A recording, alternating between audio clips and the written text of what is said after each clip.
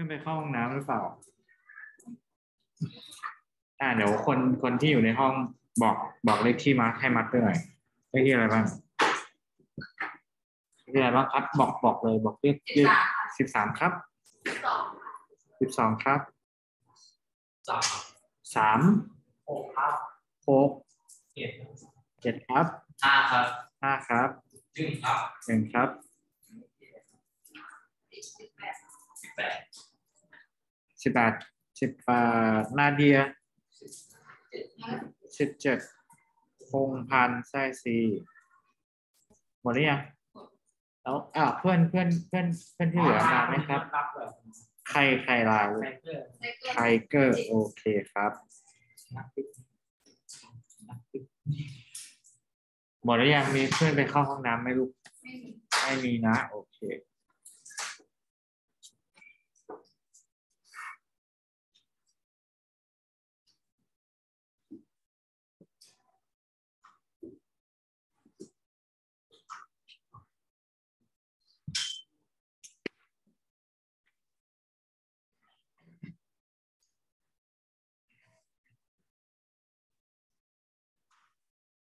อะทีนี้วันนี้เราจะขึ้นเรื่องใหม่นะครับ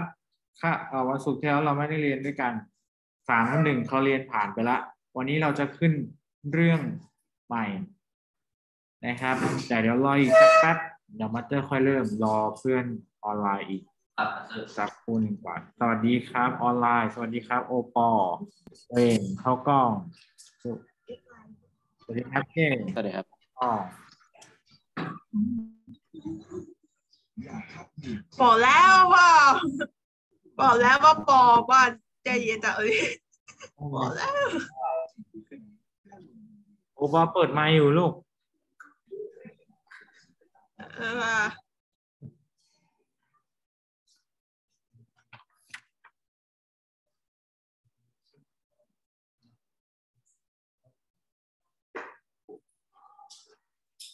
โอเคครับ อะทีนี้วันนี้เราจะมาเรียนเรื่อง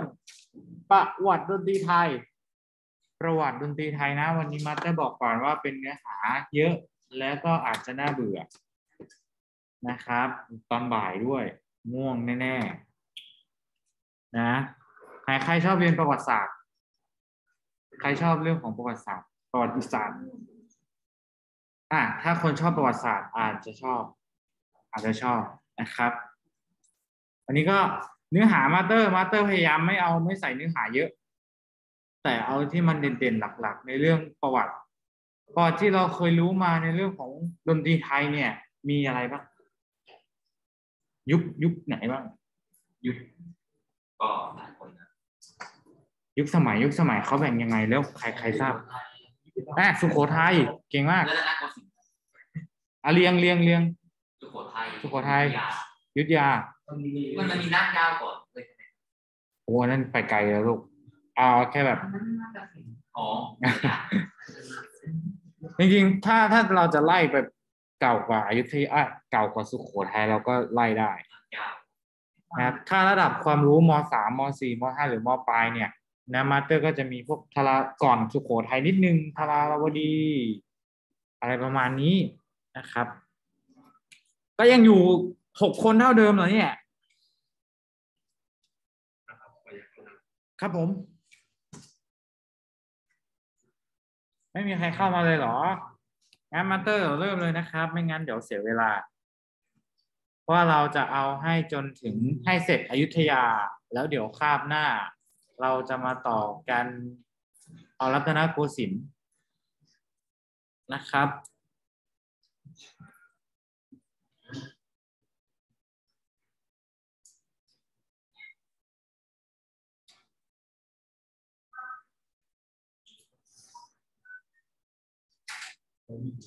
สมุดได้เอามาไหมลูกสมุดได้เอามาไหมครับ มีไหมสมุดหยิบขึ้นมาโน้ตได้แยกวิชาหยิบไม่ไม่ต้องแยกนะวิชานาฏศิลป์ดนตรีสากลดนตรีไทยรวมเลยนะครับ หยิบเข้าหยิบหยิบขึ้นมาจดมาโน้ตอะไรได้ต้องส่งไหมครับไม่ต้องไม่ต้อง เอาอย่างอื่นมาโน้ตแทนได้ไหมครับได้ครับนะครับอะขอแค่โน้ตโน้ตไม่ใช่นั่งฟังแบบ หูซ้ายทะลุหูขวา เพราะว่าเดี๋ยวมาสเตอร์มีเก็บคะแนนนะ เอาไว้อ่าน ครับผม ได้ครับ ไปเลยแล้วกันไม่รอแล้วนะ ไปเลยแล้วกันนะ หรือว่าออนไลน์เรามีแค่นี้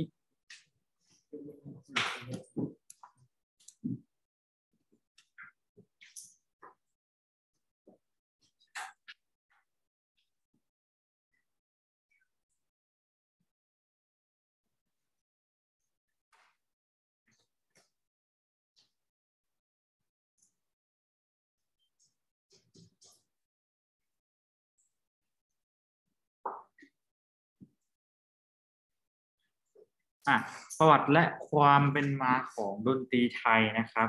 มาสเตอร์จะไปไวๆพูดแบบไม่ไม่เอาไม่เอาน้ำเยอะแล้วกันอะทีนี้ยุคสมัยที่มาสเตอร์เรียงมา ก่อนสุโขทัยหรือก่อนทาวดีเนี่ยนะครับอะมาสเตอร์ตกนอนหนูไปเอาวอลแหวนไปตัวหนึ่งนี่ใช่ไหมถูกไหม วาราวดี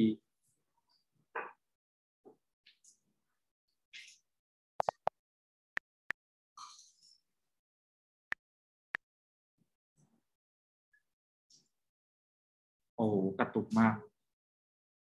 อะทั้งหมดหกสมัยจริง ๆ หลักๆนะครับ จะมีแค่สี่สมัยที่เด็กๆต้องจำมาสเตอร์แค่จะเอาเพิ่มเติมสี่สมัยนั้นก็คือแค่นี้ ที่ที่ที่เราควรรู้เลยนะครับ สุโขทัยอยุธยากรุงธนบุรี แล้วก็รัตนโกสินทร์ใช่ไหมสมัยไหนนานที่สุด สมัยรัตนโกสินทร์นะใช่เหรออยุธยา ใครคิดคิดว่าสมัยไหนนานที่สุดน่าจะสุโขทัยรัตนโกสินทร์กรุงศรี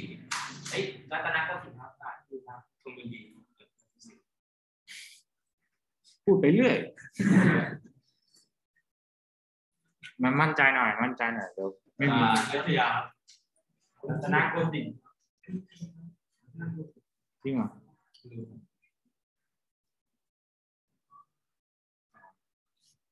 อันนี้มาสเตอร์อาจจะไม่รู้เรื่องของหลักหน่วยนะ แต่สุโขทัยนะ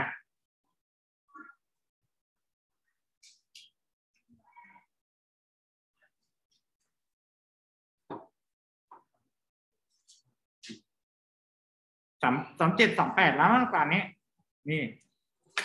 นะครับอายุธยาสี่ร้อยสิบเจ็ดปี โหด โหดมาก อะ ดนตรีไทย หรือแม้แต่ดนตรีอะไรต่าง ๆ สมัยก่อนเนี่ย เป็นวัฒนธรรมที่เก่าแก่มากนะครับ ก็คือถือว่าเห็นได้จากวัตถุโบราณตามผนังถ้ำพวกคนโบราณเขาว่า อ่าทีนี้มีการตั้งคำถามเกี่ยวกับดนตรีไทยนะครับ ว่าดนตรีไทยมาจากไหน หนึ่งเลยดนตรีไทยก็คือของเราเองที่สร้างขึ้นมาเอง กับสองรับมาจากอินเดีย แต่ส่วนใหญ่เขาก็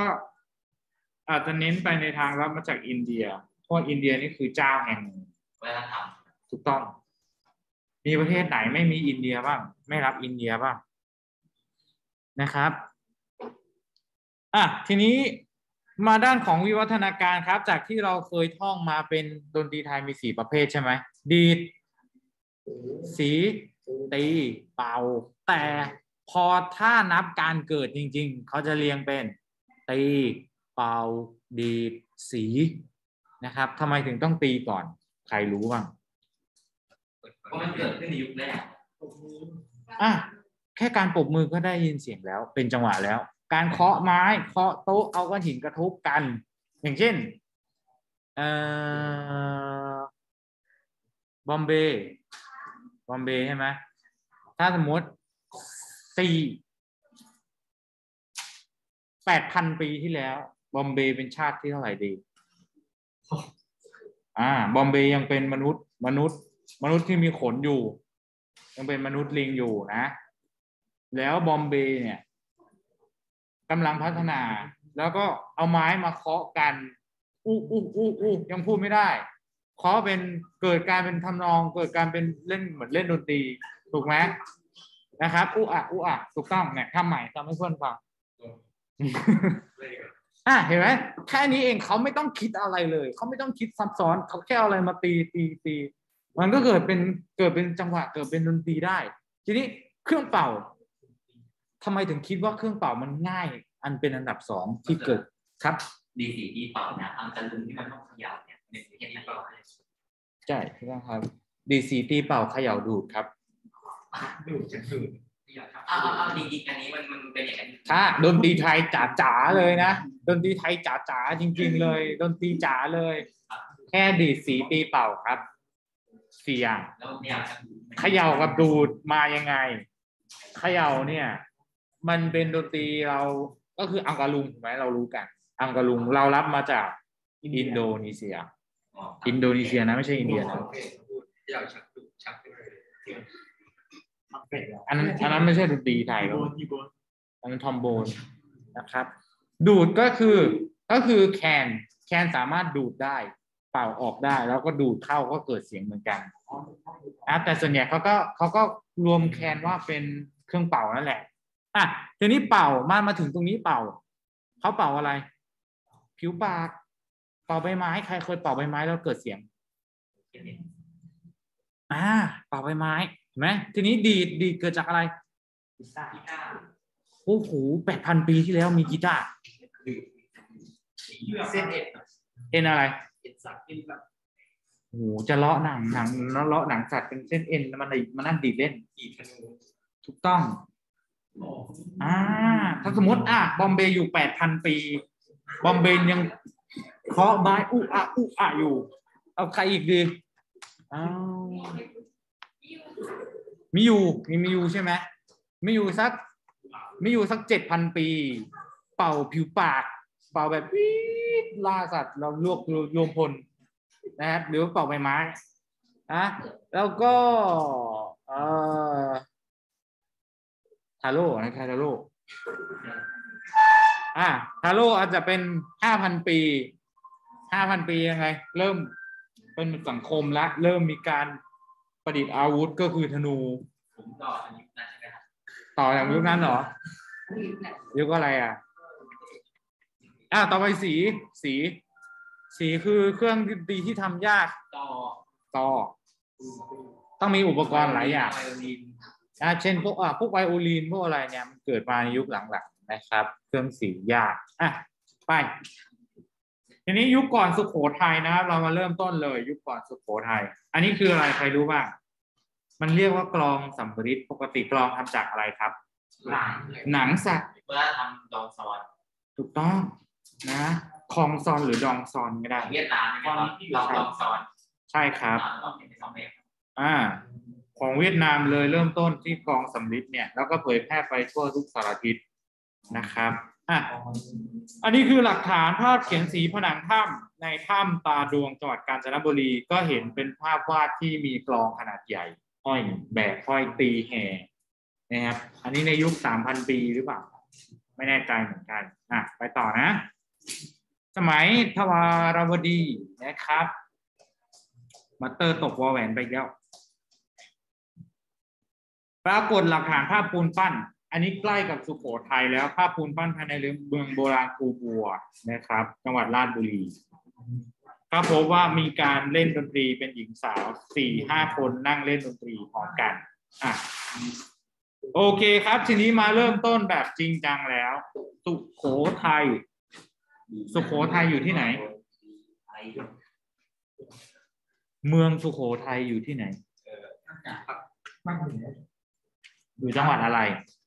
ที่เป็นเมืองที่เป็นเมืองที่เป็นแหล่งโบราณที่เป็นซากเมืองจริง ๆ อยู่จังหวัดอะไรสีสัชนาลัยอ่าศรีสัชนาลัยเป็นจังหวัดอยู่จังหวัดอะไรเออแม่ฮะอะไรนะลูกลพบุรีลบบุรีสุโขทัยเนี่ยลบบุรีนะพระพระบางสามยอดเชียงใหม่เชียงรายไปเรือเพื่อนไปเรื่อยแล้วไปเรื่อยแล้ว เดี๋ยวเผลอๆนู่น ขึ้นถึงจีน เอาไงเร็ว เมืองสุโขทัยสุพรรณโอ้สุพรรณมันก็ต้องอยู่สุโขทัยถูกต้องก็ต้องอยู่สุโขทัยก็เรียกว่าอาจารย์นะครับ สุโขทัยนั่นเอง อันนี้เขาแกะมาจากศิลาจารึกได้ว่า เสียงพิน เสียงพาด เสียงเลื่อน เสียงขัด ใครจับเล่นมักเล่น ใครจับหัวมักหัว ใครจับเลื่อนมักเลื่อน ภาษาแปลกๆไหมภาษาสมัยโบราณใช่เฮ้ยมันคล้ายๆแบบไหนอ่านะครับ อันนี้ก็คือบอกว่าเขาเขาเขาเขาเขาบอกประมาณว่า มีทั้งเสียงพาด เสียงพาดก็คือเสียงพวกตี เสียงพินก็เสียงเครื่องดีด เสียงขับ อ่า การร้อง ใครจะเล่นก็เล่น ใครอยาก เฮฮาสนุกสนานก็เฮฮานะอะไรประมาณนี้นะครับ ไปต่อนะ อันนี้ก็นี่เขาแกะมานี่เยอะแยะเลย อันนี้เราไม่เราไม่ต้องถึงขนาดอ่านขนาดจำขนาดนั้นบ้างเต้นบ้างรำฟ้อนระบำบรรลือเพลงดุริยดนตรีบ้างดีดบ้างสีบ้างตีบ้างเป่าอันนี้คือภาษา กี่พันกี่กี่ร้อยปีที่แล้วสุโขทัยครับ เมื่อกี้ที่มาสเตอร์เขียนตัวเลขไล่ไล่ไล่ไล่จนถึงรัตนโกสินทร์แล้วยี่สิบปีที่แล้วอ๋อมาสเตอร์เกิดเฮ้ยสี่ร้อยสี่ร้อยเหรออยุธยาก็สี่ร้อยแล้วนะพันปีเจ็ดร้อยย้อนไปถึงสุโขทัยนะเจ็ดร้อยสองร้อยกว่าปีฮะเก้าร้อยสองร้อยกว่าปีก็ต้องเป็นกรุงธนบุรีนี่จะย้อนไป เดี๋ยวคุณสิบปีสุโขทัยใช่ไหมพศหนึ่งเจ็ดแปดเก้าประมาณนั้นนะประมาณแปดร้อยสองห้าหกสี่ประมาณแปดร้อยปีแล้วนะครับ อ่าประมาณแปดร้อยปีแล้ว เป็นเป็นยุคที่พงศ์กำลังเกิดอ่ามันมาสเตอร์ให้พงศ์อายุแปดร้อยปี แต่ยุคปัจจุบันนี่คือมาสเตอร์นะนะแต่ใครไม่มีใครสู้บอมเบย์ได้อ่าสุดยอดจริงๆเลยแปดพันปีอ่ามาสเตอร์ยอมอะโอเค ทีนี้มาดูในพระราชอ่า พระราชพงศาวดารพระราชฐานของกรุงสุโขทัยเนี่ยมีการบรรเลงเดี่ยวคือการดีดพิณแค่แค่นี้ไม่มีอะไรมากมาย การเล่นในในเขตพระราชฐานในวังหลวงนะลูกมีแค่นี้นะครับ วงขับไม้ ขับไม้ก็คือการร้องกับการสี แล้วก็มีการไกวบันดอกสามคน วงขับไม้ ถ้าได้ถ้าเห็นคำว่าขับไม้จะมีกี่คนครับสามคนอะจำไว้แค่นี้ นะมีซอสามสายมีคนร้องแล้วก็ไกวบันดอก รู้จักบันดอกไหมจากอะไรที่มันเป็นสามใช่ไหมครับหึเป็นเป็นที่มันตีใช่ไหมครับ ที่มันเป็นไกวที่มันมีลูกตุ้มแกว่งไปก่อนแกว่งที่มันมาเป็นกลองแล้วเป็นแบ่งตีสองด้านเคยเล่นไหมไอ้ไอ้ไอ้อะไรเขาเรียกกลองอะไรอะ ที่เป็นกลมๆแล้วก็มีลูกตุ้มห้อยแล้วเวลาเราหมุนป้องแป้งป้องแป้งป้องแป้อ๋งอลักษณะเดียวกันของเก่านะเออไม่ใช่ขายของเก่าขายของเล่นเด็กของเล่นเด็กของเล่นเก่า ของเล่นเก่าๆสมัยเก่าป้องแป้งป้องแป้งของแป้งหรือหรือทำอย่างนี้ก็ได้ป้องแป้งป้องแป้งป้องแป้งใช่ไหมอ่ามาสเตอร์ชอบเรียกว่ากลองป๋องแป๋งอันละยี่สิบบางทีก็ซื้อขนมแล้วมันก็จะแถมกลอง แล้วก็หมุนทั้งวัน แล้วก็หมุนทั้งวันอย่างนั้นลูกถ้ามันแตกเราก็จะเสียใจมากนะครับอ่า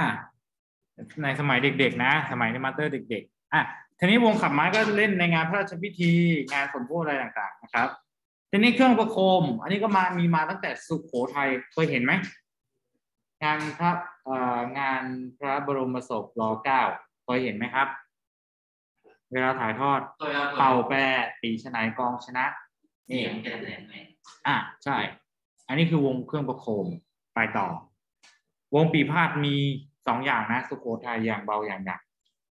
เบาก็แค่นี้ครับ ดูเห็นไหมเครื่องดนตรีชิ้นเล็กๆเราไม่ต้องจำเครื่องดนตรี เราดูแค่ว่า มันเล็กๆ มันเลยเบา น้ำหนักเบาถ้ามาดูเครื่องใหญ่นี่มีคล้องวงใหญ่มาเริ่มเลยเป็นวงกลมครึ่งหนึ่งนะครับนไหมแล้วก็กองทัดใบหนึ่งใหญ่ ๆ เลย อันนี้คือเครื่องหนักหรืออย่างหนักนะครับ อะไปต่อ โอเคมาถึงอยุธยาแล้วไวมากนะครับอยุธยานี่แหละนะครับ เด็กๆน่าสนใจมาก เขาบอกว่า ใครอ่านให้มาสเตอร์ฟังได้ได้บ้างเอาเอาคนทางบ้านดีกว่า ทองครับ อ่านให้มาสเตอร์ฟังหน่อย สีดำอันแรก เออ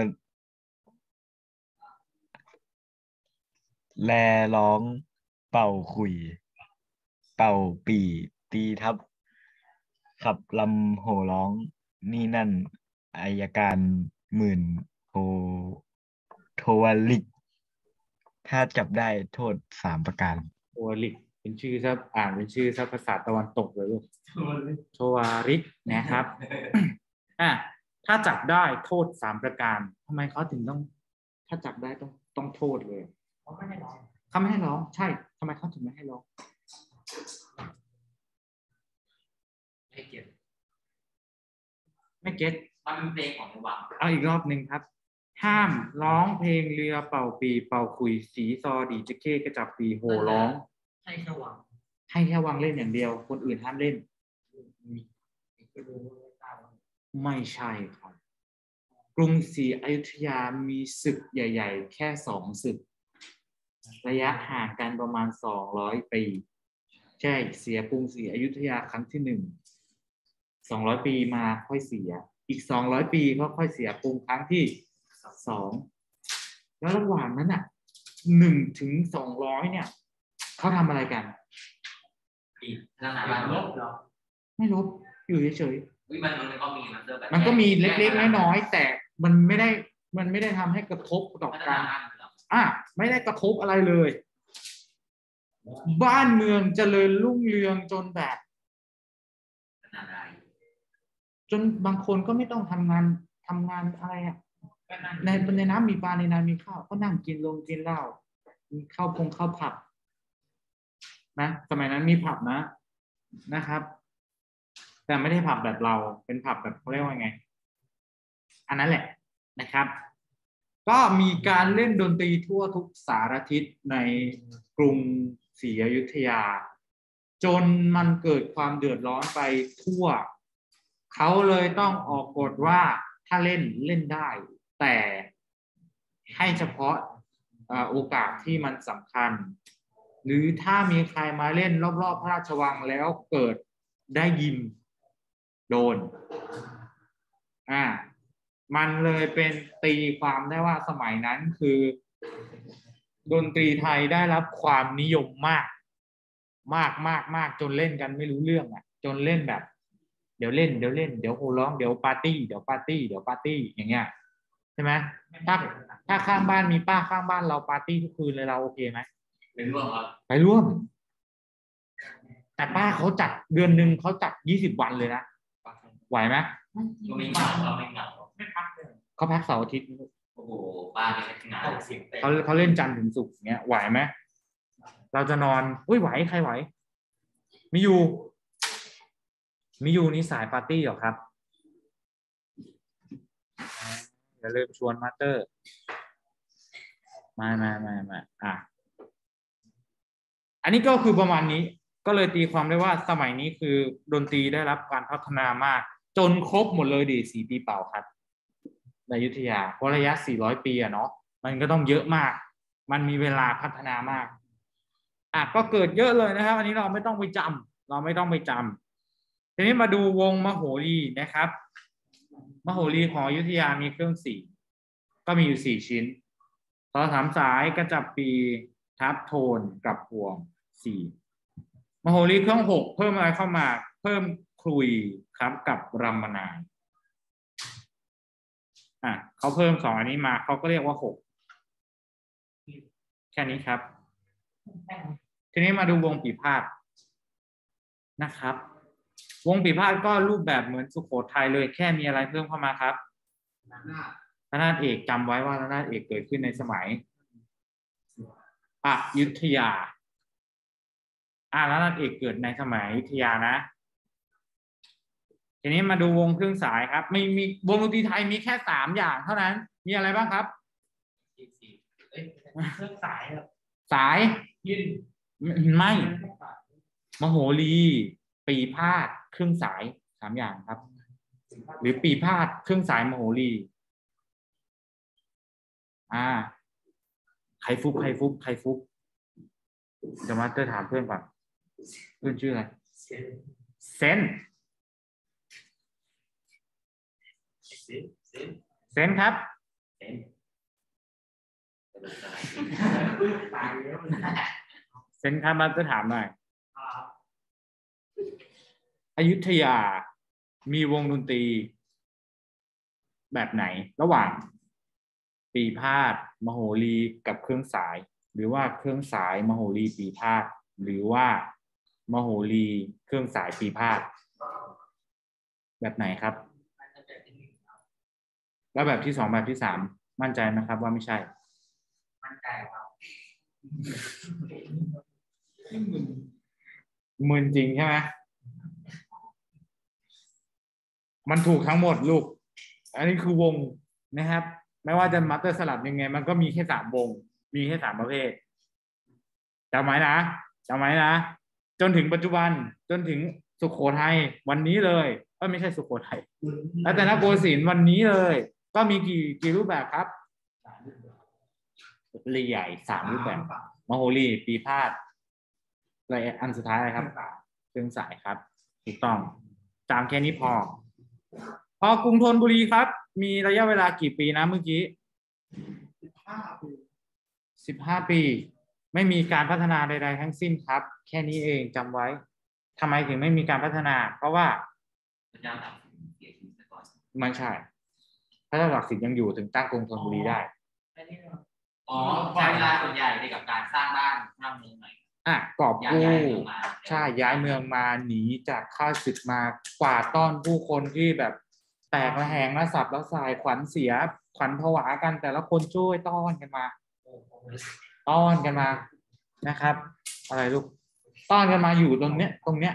นะครับ ตรงเนี้ย ตรงนี้คือตรงไหนพระราชวังกรุงธนบุรีอยู่ตรงไหนครับนะครับพระราชวังกรุงธนบุรีอยู่ตรงไหนครับคือราชวังกรุงธนบุรีรู้ไหม ไม่ไม่น้ำตุ่มอะไรนะมาสเตอร์เชื่อว่าเด็กๆ ไม่เคยคิดว่า เอ้ย มันมีกรุงธนบุรี แล้วเด็กๆเคยคิดไหมว่า แล้วพระราชวังอะ มันอยู่ตรงไหนฝั่งตรงกลางอะมันอยู่ฝั่งทนแต่มันอยู่ตรงไหนแม่น้ำแม่น้มันอยู่ในแม่น้ำำริมฮะคือราชวังชื่อพระราชวังกรุงธนบุรีเลยเหรอครับชื่อพระราชวังพระราชวังกรุงธนบุรีหรือพระราชวังพระเจ้าตากสินอันนี้ไม่รู้นะ ไม่ไม่ไม่เคยคิดเลยเหแบบอยุธยาแบบพระราชวังแบบยิ่งใหญ่มาก ยิ่งใหญ่แบบสุดๆมาก ถ้าถ้าไม่แตกนะ ถ้าไม่แตกนะ สุดยอด น่าจะเป็นสิ่งมหัศจรรย์ของโลกได้อ่าแล้วไอ้ธนบุรีมอยู่ตรงไหนนะออนไลน์รู้ไหมครับโอกมาหาออนไลน์ละ เก้งรู้ไหมครับอะไรนะพระราชวังกรุงธนบุรีอยู่ไหนเอ่ย ไม่ทราบไม่ทราบโอปอครับทราบไหมครับ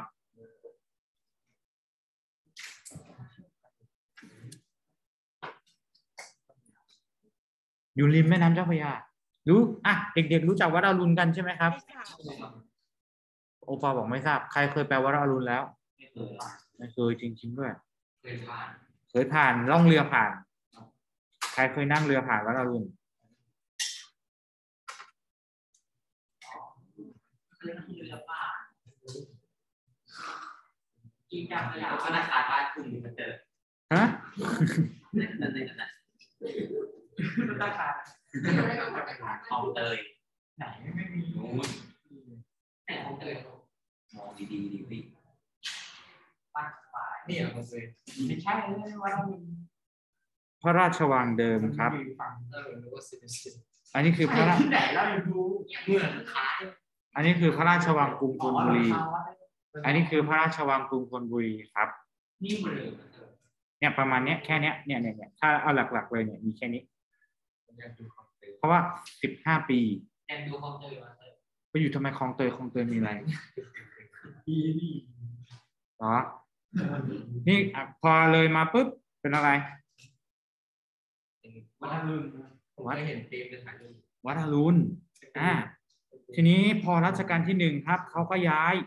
จากวังนี้มาปุ๊บปุ๊บปุ๊บข้ามน้ำมาปุ๊บปุ๊บปุ๊บปุ๊บปุ๊บปุ๊บปุ๊บปุ๊บปุ๊บปุ๊บปุ๊บเขาข้ามน้ำเลยเรือยังเป็นเรือว่ายน้ำข้าม อ่ามาเป็นเป็นพระบรมมหาราชวังปัจจุบัน เขาให้เหตุผลว่าทำไมเขาไม่อยู่ตรงนี้ อ๋อพระบรมมหาราชวังได้รับฉายาว่าพระราชดาอันนั้นอันนั้นพระที่นั่งพระที่นั่งดุสิตลูกเขาที่เขาไม่เขาไม่อยู่ที่เดิม เพราะว่าอะไรเพราะว่ามันเป็นทางโค้งของน้ำพอเวลาน้ำหลาก น้ำหลากอะน้ำมันจะพุ่งแบบเซาะเข้าตลิ่งฝั่งเนี้ย ถูกไหมมันจะพุ่งเซาะเขาเลยย้ายเมืองอยู่อ่าอันนี้ก็คือ เห็นไหมเรียนดนตรีแล้วได้ประวัติศาสตร์ด้วยนะครับอะหมดเวลาพอดี โอเค จบแล้ว จบแล้วนะครับ เหลือแค่อะไรครับ เหลือแค่รัตนโกสินทร์ นะครับ เนื้อหาไม่เยอะเนื้อหามาสเตอร์แบบย่อๆให้เราเอาที่เราควรจะรู้แค่นั้นพอนะครับ เดี๋ยว เดี๋ยวครั้งหน้านะครับ เราจะต่อกรุงรัตนโกสินทร์รัตนโกสินทร์แป๊บเดียวครับ แล้วก็แล้วก็เราจะมีแบบทดสอบอะเดี๋ยวจะมีแบบทดสอบนะเดี๋ยวจะมีแบบทดสอบนะครับ โอเค จบลงไปครับ เดี๋ยวเรามาไล่รัตนโกสินทร์ทีละรัชกาลครับจำจำรัชกาลได้หมดไหมลูกจำได้หมดครับจำได้หมดมาเตอร์เราเพื่อนคนอื่นอะนะครับจริงเหรอบอมเบย์จำได้หมดไหมครับ ไม่ได้ ชื่อชื่อกรุงเทพจำได้หมดไหมครับ ได้ครับ กรุงเทพมหานครหมอนาโกสินทร์วิจิตรลาเลยวิทยา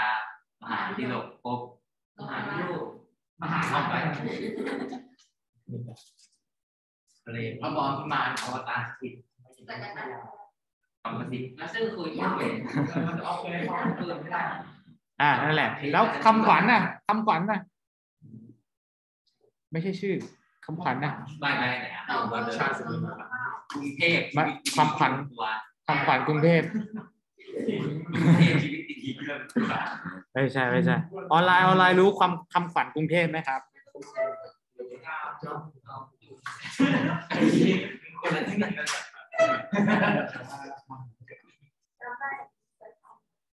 กรุงเทพดุจเทพสร้างเมืองโอเคไม่จำไม่ได้ศูนย์กลางการปกครอง วัดวัง งามเรืองรองเมืองหลวงของประเทศไทยไม่เคยได้ยินเลยอะสยามพารากอนนะครับ น่าเดินมากเลย โอเคทีนี้จบลงไปแล้ววันนี้ไม่มีอะไร วันนี้ไม่มีอะไรนะครับเป็นการบรรยายแบบแบบเนื้อหา เนื้อหาเยอะไหมเนื้อหาเยอะไหมไม่นะเพราะมาสเตอร์พยายามเอาจุดหลัก ๆ เราก็มาอธิบายแบบตีขยายความไปเรื่อยๆ โอเคนะครับ ออนไลน์ก็ยังมาหกคนเหมือนเดิม ไม่มีใครเพิ่มเติม นอกจากชาบูมาสเตอร์ชื่ออเล็กหรืออาเล็กครับอาเล็กตัวเนี้ยไม่ใช่ R ไม่ใช่ตัวแบบ big นะ ไม่ใช่ R big นะ ตัว R small r ครับมาสเตอร์โอเค R เล็กโอเคครับโอเคนะครับอะทีนี้เดี๋ยวเรามาเจอกันวันวันไหนครับ วันศุกร์ครับ วันศุกร์จะมีแบบทดสอบด้วยในเรื่องของ ในเรื่องเก็บคะแนนแล้ว ขอมาสเตอร์ขอเก็บคะแนนบ้างนะยังไม่ยังไม่มาสเตอร์ครับยังไม่มีคะแนนเลยมาสเตอร์ยังไม่มีคะแนนเลย เดี๋ยวจะสอบเก็บคะแนนในเรื่องประวัติดนตรี ซึ่งเอาสิ่งที่มาสเตอร์สอนนี่แหละ เอาสิ่งที่มาสเตอร์สอนนี่แหละเมื่อกี้เลย อย่างเช่น อย่างเช่น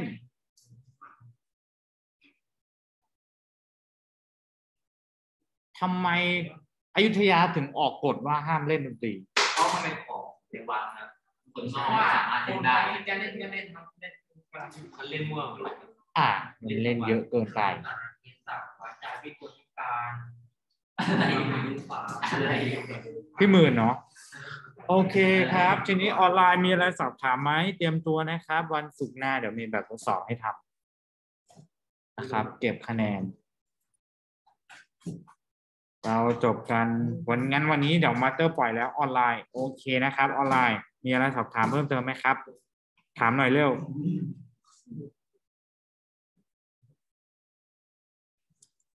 อ่างานมาสเตอร์ปล่อยแล้วออนไลน์ สวัสดีครับ สวัสดีครับ สวัสดีครับผม สวัสดีครับ